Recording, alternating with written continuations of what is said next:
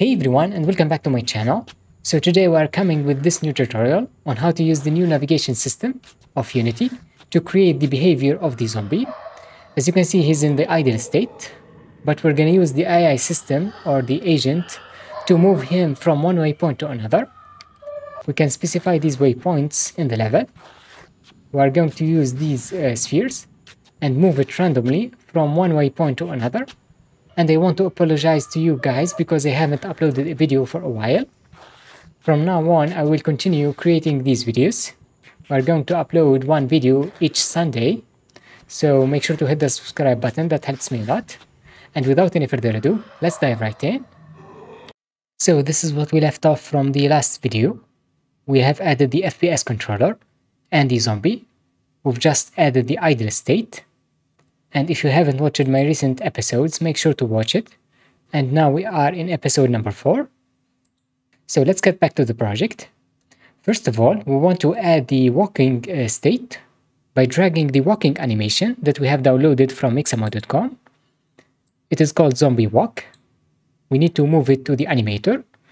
It is created automatically when we have dragged the idle animation to the zombie. And we need to make some transitions. So we are going to add a transition from idle to walk by right click, make transition, and click the walking animation. So I'm going to rename it to patrol state, or let's leave it like that, zombie walk. It's going to be the patrol state. Then we're going to make another transition from walk to idle. Now to control it, we are going to add a parameter.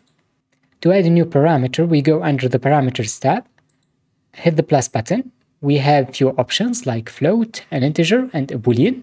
Normally we use the float to change the speed of the player or the agent. Today I'm going to use a boolean. I'm going to call it is idle. So when we change this to true, the zombie is going to be in the idle state. And when we set it to false, going to switch from idle to walk. And to do that, we have to select the transition from idle to walk and set the condition using the plus icon. So when is idle is false, we're going to go to the walking or the patrol state. And when it's true, we're going to get back. Also, I want to remove has exit time so that we can instantly go from idle to walk once we change the parameter. Same thing right here. And if you want to change the transition duration, you could set it from here and adjust it. This is going to smooth the transition between these states. Now we want to control this parameter from the code. Basically, we have a system that is called finite state machine, which allows you to attach a specific code to the idle state or the walk state, and this code is going to be running when the zombie is idle. To do so, we click on the state, and we're going to go under the inspector and add a behavior, which is a new C-sharp script. It's recommended to name it like this. We put idle, because we are in the idle state. Then we add state but it doesn't matter. Then we hit enter to create it and hit enter again. And this script is created by default under the asset. I want to move it under the zombie folder. Then we can open it up. And in here we have some code. Basically we're going to use three main functions. The first one is onState enter. We have onState update and onState exit. I'm going to uncomment these. So the onState enter is going to be called each time we enter the idle state. Normally we use it to initialize some variables. Next we have the onState update. So it's like the update, it is called each frame, but it's going to be working only when we are in the idle state. So this is called the finite state machine. I think it's really powerful to create the AI behavior of the enemies inside Unity. And finally, we have onState exit, which is called once we exit the state, for example, we're to wait for 5 seconds under the idle state. Then we're to switch to the patrol state. So the condition here is to be the timer. To do that, I will add a variable on top, which is to be our timer, using float timer. And here we have to set it to 0 by default. Of course, we're to use the onState enter by writing timer equals 0 by default. And under the onState update, we're to increase it to calculate the time so that we can check if we have passed 5 seconds. And to do that, we use timer plus equals the time to delta time. I think Microsoft Visual Studio is really powerful. So it knows that I'm using this line of code to increase the timer. To put this code, I'm going to use tab and tab again. Next, we're going to add an if statement so that we can check if the timer is greater than 5 sec. You could put whatever you want right here. In such case, we're going to switch to the patrol state. And to do that, we need to access the animator component and change the parameter is idle to false. Luckily, we can access the animator from the function using animator dot set boolean. And in here we're gonna put the boolean that we have created which is called is idle. And we're gonna set it to false. And that's it for now for the idle state. And once we go from idle to walk we're gonna add some logic to it for now I am gonna wait for 10 seconds or 15 seconds and switch back to idle to do that we select the state add behavior but here I'm gonna call it patrol state the same thing, I'm gonna put it under the zombie folder and open it up. The same thing, let's uncomment these. We almost have the same logic. So I'm gonna copy the same code. We're gonna wait for 15 seconds. After that, we're gonna switch to idle by changing the boolean is idle to true. And let's try to test it out. By default, he's walking because the boolean is idle. It's set to false by default. I'm gonna use uh, true for now. As you can see, he's idle for 5 seconds. Then he's gonna switch to walking for 15 sec. But he's not actually moving.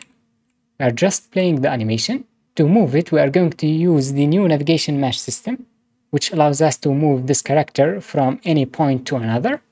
You have to install the package by going to Window, Package Manager, and under Unity Registry, make sure to search for AI the current version that I'm using is 2.0.8. Make sure to install it and you can close this window.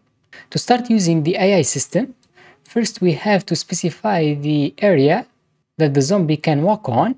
To do it, we have to create an object from the hierarchy by right-clicking and go under AI. We have three main components. We're going to use the first one, nav mesh surface, to set the surface we're going to leave the name as it is and I want to put it on top. So if you click on this object, you will see that we have this component nav mesh surface that contains some parameters like the agent type, it's a human or humanoid, but we're going to change or you could change these parameters later on.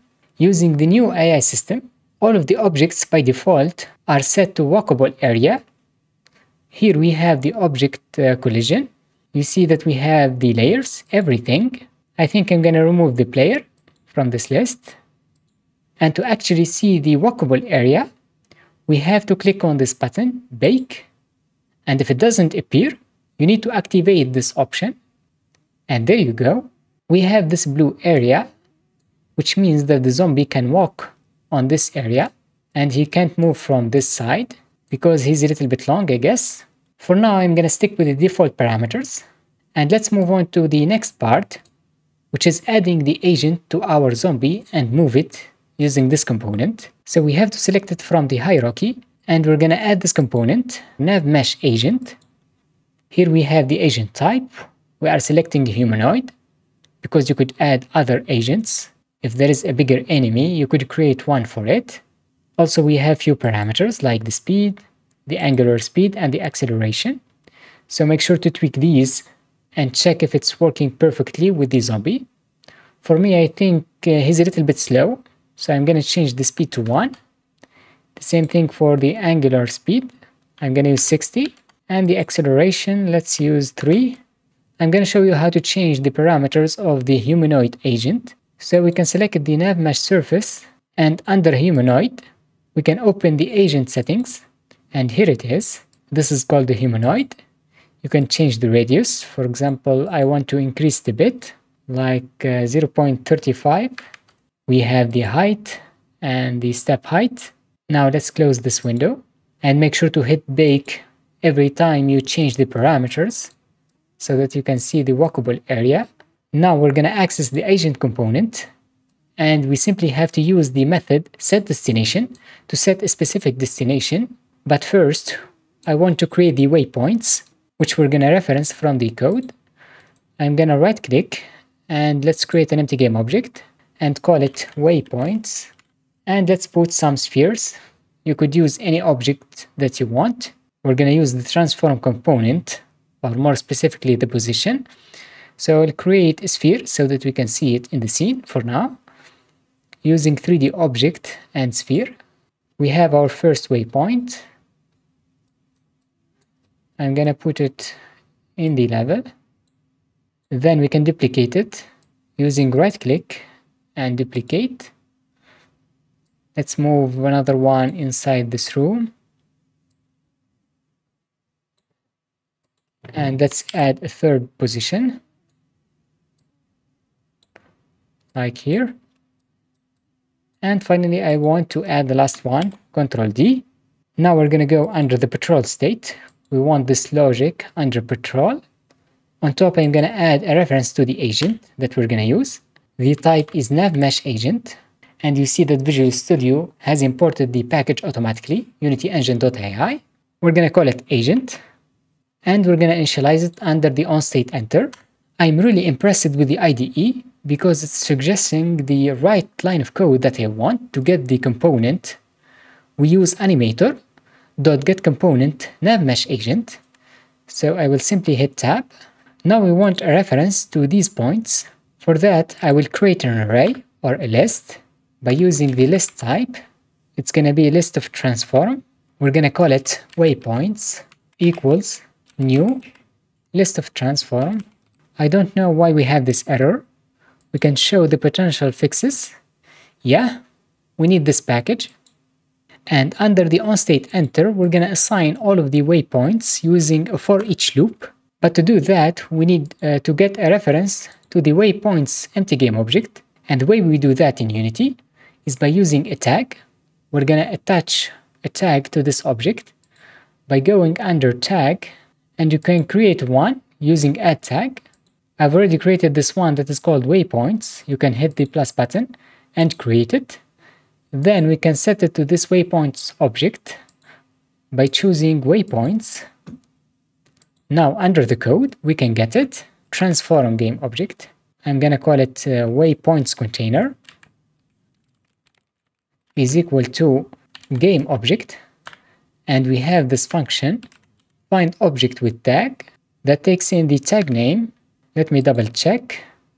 It is called waypoints. And we need to transform using dot transform.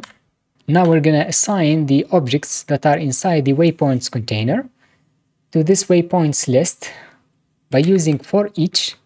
And luckily, we have the right code.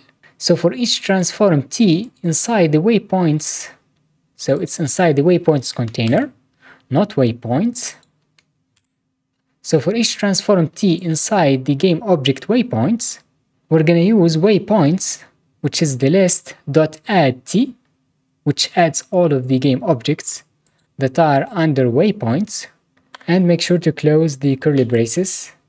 Next, we are going to set the destination to one random position by using the command agent dot set destination, and it takes in the position of the waypoint for that, I'm going to use the waypoints uh, container, uh, sorry, the waypoints uh, list. And to select an item, we use square brackets.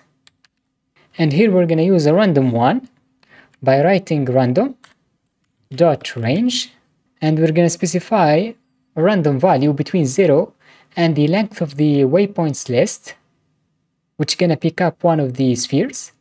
Of course, we have to use the position by adding dot position now each time the enemy goes from idle to patrol, he's gonna go to one of the random waypoints, but we need to move it from one waypoint to another. Each time he reaches one of the waypoints, we need to move it to another one, and we do that under the on-state update. But how we can check if the enemy has reached the position, and we're gonna check if the remaining distance of the agent is less or equal to the stopping distance by adding agent dot stopping distance, which means the enemy reaches the position or the waypoint. In such case, we're going to move it to another one by using the same line of code. So I'm going to copy it and paste it right here. Let's save the code and get back into Unity. So you don't have to assign anything from the inspector. As you can see, he's idle. Now he's walking to one of the waypoints. I think it's the, that one. And there you go, he switches back to the idle state. And this is the problem that I am talking about. He keeps moving to the waypoint. To solve that, under the patrol state, we need to make sure to stop it whenever we exit this state by using the agent component. So under the onState exit, I'm gonna add agent, and to stop it, we can use this stop method, but I think it's deprecated. So we have another option. We can use set destination, and we're gonna set it to his current position, and that's how we can stop it. We're gonna enter animator dot transform dot position. So he's gonna move to his current position, which means stopping the enemy. And let's save it again you see by default the enemy is idle. So I'm inside the scene view so that we can see his behavior. Now he's moving from one waypoint to another and he gets back to the idle state and so on. In our next episodes, we are going to add the other states like uh, chasing, attacking, and so on. So I think that's pretty much it guys for this episode. If you have a question or comment, make sure to put it under the comment section down below. And as usual, I will see you in the next one.